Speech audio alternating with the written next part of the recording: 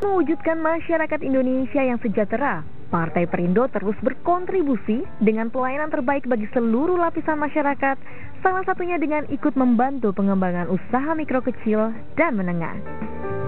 Di kawasan Petojo Utara, Jakarta Pusat, Partai Perindo membagikan 10 gerobak gratis sebagai upaya untuk ikut meningkatkan perekonomian pedagang kecil sekaligus memperkenalkan Perindo kepada warga.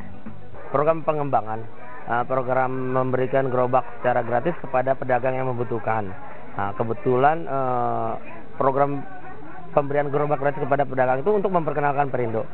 Ya hari ini kita bagikan 10 ya, 10 dan targetnya sesuai dengan target uh, Ketua Umum Pak Aritano Sudibyo bahwa DKI ini targetnya 1000. Sementara itu, untuk membantu pemenuhan kebutuhan ekonomi warga, Kartini Perindo menggelar bakti sosial dengan membagikan beras gratis di Ciracas, Jakarta Timur.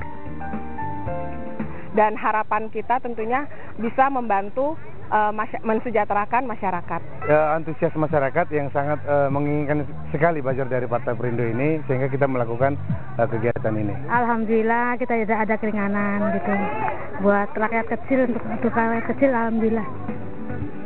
Tak hanya membagikan beras gratis, Kartini Perindo juga menggelar senam bersama warga sebagai upaya untuk menjadikan masyarakat Indonesia yang sehat dan sejahtera.